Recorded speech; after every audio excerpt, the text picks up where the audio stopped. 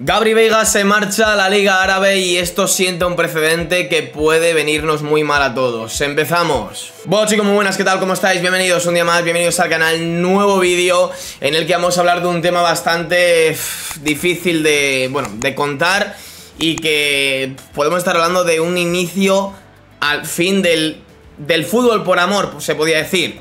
Llevamos ya varios años en los cuales pues han entrado tanto PSG como Manchester City en un mundo en el cual, pues a base de petrodólares, se llevan a jugadores eh, que vienen de un dinero de, bueno, del petróleo, dinero ajeno a, los ingresos de esos clubes, y que ya se llevaban jugadores, pues bastante tochos, pero bueno, al fin y al cabo no era muy hablado porque estaban en Europa, porque estos clubes ya competían en Europa y no se hablaba mucho, aunque para otros ya decíamos de que, oye, esto no es normal, esto va a acabar con el fútbol, pero es que ahora ya todos ya han visto las orejas al lobo cuando Arabia se ha puesto a fichar a jugadores como Cristiano, como Neymar, como Benzema, como Mané, como Kanté, etcétera, etcétera, etcétera.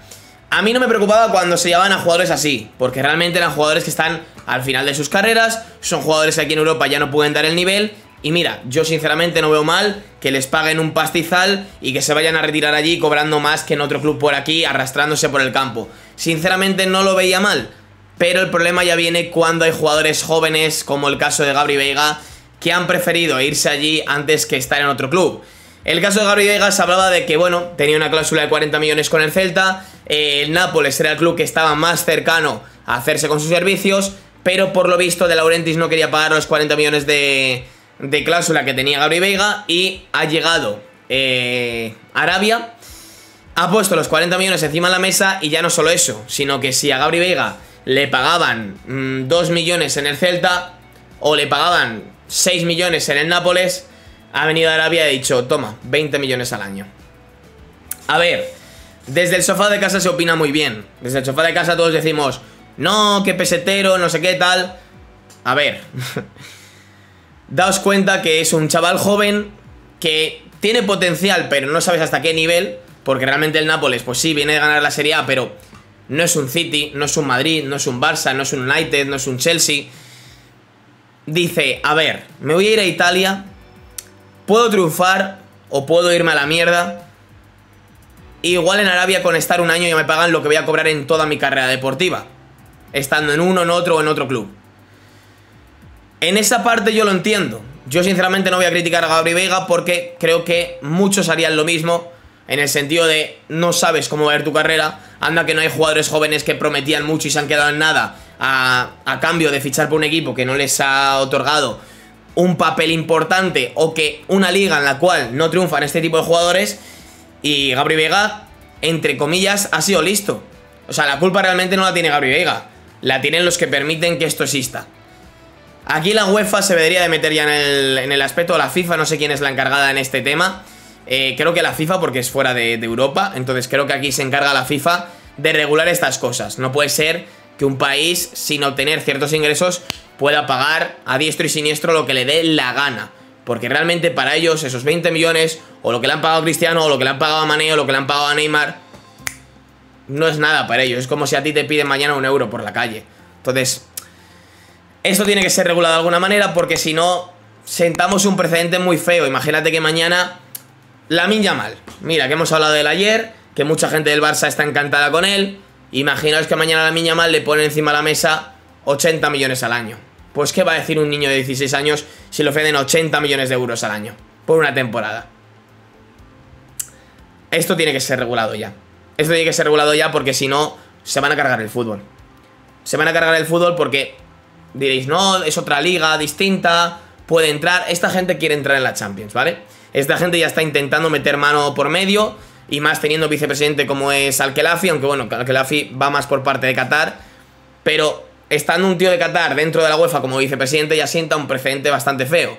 Ya lo hemos hablado bastantes veces en el canal, del tema del PSG que hace lo que le da la gana, el tema del Manchester City que hace lo que le da la gana, y, y ahora viene Arabia. Ahora viene Arabia, otra liga distinta, una liga que se está llevando a un montón de jugadores, la mayoría veteranos, ¿vale? Salvo Gabri Veiga, eh, Milinkovic Savic y no sé, alguno por ahí más. El resto son veteranos, pero que poco a poco van a ir sentando un precedente de los jóvenes pueden venir también. Y esto ya es lo que preocupa bastante. Sinceramente a mí esto ya no me molaba nada. Lo iba dando, lo iba pasando por alto que ficharan a estos tíos. Porque realmente nadie quiere competir por ellos. Es decir, un club top no va a querer a Neymar ahora, no va a querer a Cristiano ahora. Porque saben que ya está al final de su carrera, así que no van a aportar lo mismo. Pero ya cuando se empiezan a llevar jóvenes ya preocupa. Es cierto que, repito lo que he dicho al principio, era el Nápoles el que quería Gary Vega. Si en vez de ser el Nápoles hubiera sido el Barça, hubiera sido el Madrid, hubiera sido un City, un Liverpool o tal, creo que, el, desenlace hubiera sido distinto. Pero el Nápoles, con todos los respetos, está en una liga que, fíjate, si la Liga Española ya pegado un grade, imagínate la Serie A. Y aparte es un Nápoles que viene a ganar este año la Serie A, pero que llevaba años en el limbo, ¿sabes? Entonces, creo que hubiera cambiado el desenlace si algún club más top se hubiera interesado por Gabri Vega o hubiera sido capaz de pagar por, por Gabri Vega. De todas formas, de esto ya nos avisó el más listo de todos.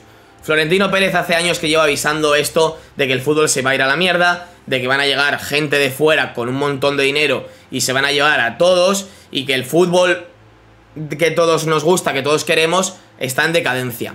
Pero ¿qué pasa? Que el antimadridismo puede más.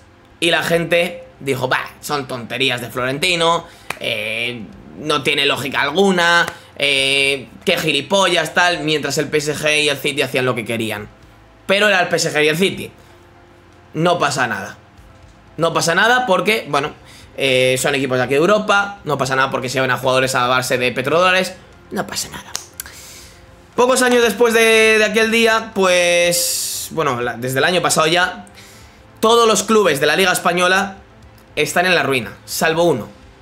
¿Sabéis cuál es el único club de España que no está en la ruina? El Real Madrid. Porque Florentino lo vio venir. En la pandemia fue el único club de toda Europa en acabar en positivo. Lo vio venir. Ha hecho el nuevo Bernabéu para obtener ingresos que no van a llegar a los petrodólares, pero que se pueden acercar algo a la Premier. A la Premier, ya no a los petrodólares, a la Premier.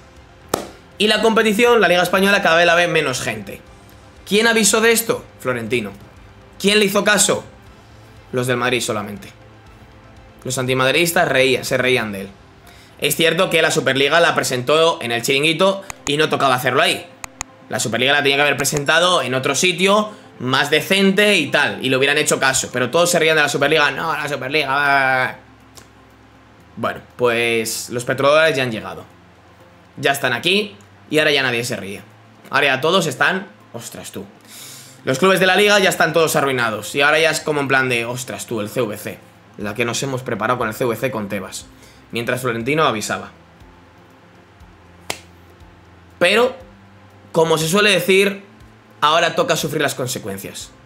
Disfruten de, bueno, esto va en, torno a las elecciones, pero esto no tiene nada que ver. Se suele decir las elecciones, disfruten de lo votado. Pues aquí, disfruten de, no haberle hecho caso a, a Florentino en su momento. Porque ahora ya ha llegado todo esto.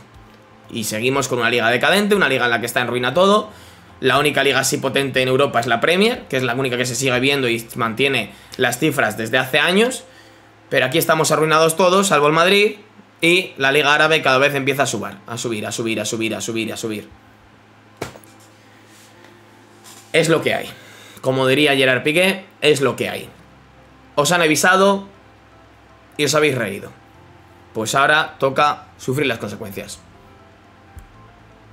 No hay más. Si queremos que esto cambie, la Superliga es el camino. Porque si no, esta gente va a acabar entrando en la Champions. Con Alquelafi de por medio y tal, y con la permisividad de la FIFA y de la UEFA de momento, van a ir colando. ¿No ha colado el City y el PSG saltándose el fair, el fair play financiero todos los años? Han quitado el fair play financiero como estaba escrito antes para beneficiar a PSG y a City. ¿Y ahora os creéis que van a frenar a, Arabia? Esta gente va a frenar a Arabia una gente que ha permitido el Mundial en Qatar, que les han subvencionado por detrás, por las espaldas, dinerito para que hubiese Mundial en Qatar. ¿Os vais a creer que con Arabia va a ser distinto? Qatar es del PSG, pero Arabia es del, del City. ¿Os vais a creer que van a frenar a Arabia? Qué ilusos, de verdad, qué ilusos. En fin, chicos, el fútbol como teníamos entendido antes, pues va a dejar de existir. A partir de ahora se va a dejar todo llevar por dinero. Yo sigo manteniendo lo mismo. Creo que los únicos clubes que se pueden salvar de esto van a ser los más top. Van a ser Barça, Madrid aquí en España. Y en Inglaterra, City, Chelsea, Liverpool y demás. Bueno, en Inglaterra la mayoría porque En Inglaterra hay mucho dinero todavía. Pero en el resto del mundo, creo que Bayern Múnich, Real Madrid, Barça y la Premier. Esos clubes van a seguir estando ahí porque van a seguir atrayendo por su historial, por lo que son como club, antes que por el dinero. Pero el resto de clubes van a preferir, o sea, el resto de jugadores van a preferir antes irse a Arabia que irse a cualquier otro club del mundo. Sinceramente, porque le van a ofrecer más pasta y porque no tienen un nombre escrito en la historia. En cambio, estos clubes que he dicho antes, como Bayern, Barça y Madrid, tienen ya un nombre hecho y van a poder mantenerse pudiendo fichar jugadores. Veamos el caso de Chouameni el año pasado. El PSG le pagaba un pastizal y dijo, no, yo me voy a Madrid. O Bellingham mismamente, el City le pagaba un pastizal y dijo, no, yo me voy al Madrid. Esto va a ser así. Mm, o mira, el caso de Gundogan. Le ofrecían una pasta en Arabia y demás y dijo, no, yo me voy al Barça. Esos clubes todavía van a poder eh, subsanar esta situación, pero el resto de clubes van a estar abocados al fracaso porque se lo van a llevar todos a Arabia. Pero, repito, es lo que hay. Sinceramente lo veo, muy complicado que esto se frene porque no creo que la FIFA haga nada al respecto, y la UEFA menos porque creo que no es la involucrada en esto. Es la FIFA la que está organizada el fútbol a nivel mundial, y la UEFA ya es más temas de, europeos, temas Champions, etc. Entonces, sinceramente lo veo muy, muy complicado, pero esto ya está ocurriendo, chicos. A mí me da miedo, a pesar de ser el Madrid, me da miedo porque el fútbol, como lo entendíamos, se va a acabar, tarde o temprano, y ya está empezando.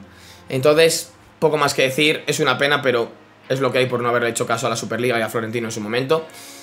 Lo dejo por aquí, chicos. Espero que os haya gustado el vídeo. Si es así, un like se agradece. Suscribiros al canal para más. Comenta qué os ha parecido. Activa la campanita para que os avise YouTube cada vez que subo un nuevo vídeo. Y recuerda que nos vemos en el próximo. Adiós.